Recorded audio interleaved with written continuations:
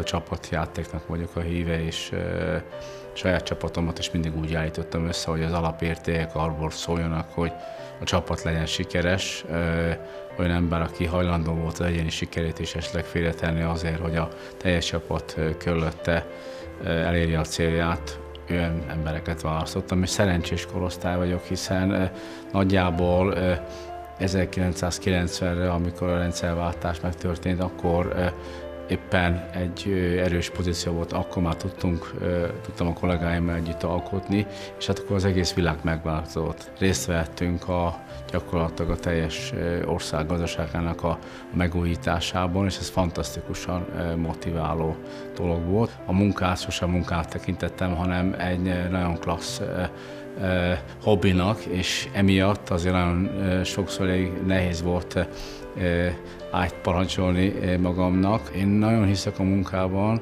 és azt hiszem, hogy bármiféle tehetség és sok-sok minden egyéb dolog az, az meg lehet, de hogyha valaki nem hajlandó és nem tud beletenni munkát abba, hogy az eredményt elérje, az, az nem fog működni. Készült Magyarország kormánya megbízásából az Európai Unió támogatásával.